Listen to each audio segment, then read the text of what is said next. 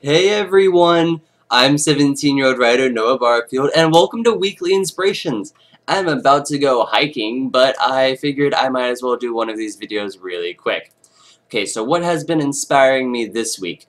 Well, among other things, forefront, like in my thoughts there, we have robots, zombies, superpowers, and aliens. All four of those, in conjunction, are inspiring me because I have been I recently finished a TV show Falling Skies. I'm watching The Walking Dead, things like The Flash, and I've just been inspired. Now, does that mean that I'm trying to create a story where they all fit together and it actually works? Yes, it does. Because commonly people will take a very comedic approach to something like a story with aliens, robots, zombies, and superpowered people in it. But I want to try and take a serious approach to it.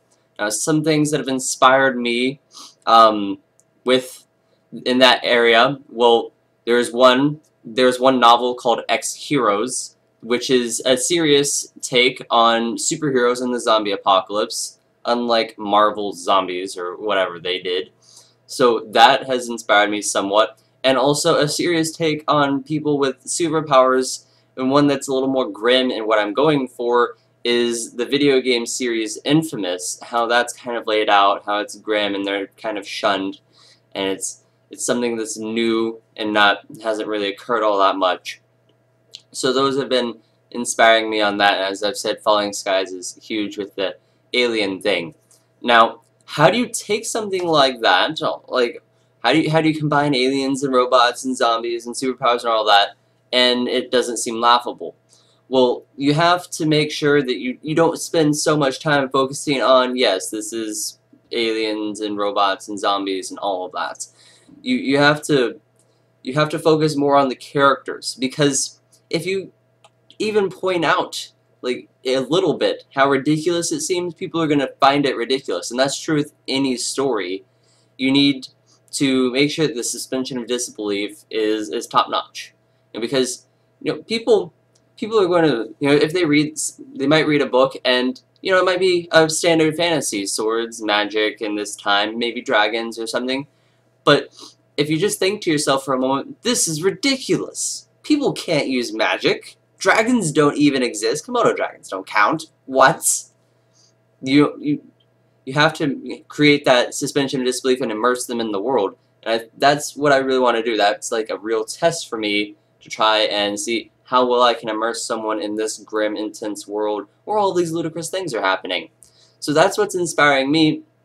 And I encourage you guys to, all of you out there, to take a look at some things that people might consider ludicrous or um, insane, you know, laughable, if they were all mixed together and try and do it in a serious, intense manner. Like, yes, okay, this is unicorns versus the cyborg armada, but let's see what happens whenever it's done seriously with actual effort. It's a great way to push yourself as a writer, and also, it really gets the creative juices flowing of like, how can I do this to where it's actually done well? Because a lot of people can do it where it's a joke. But it takes a really skilled writer to take something that would commonly be a joke and to make it a serious, effortful, impactful, good work.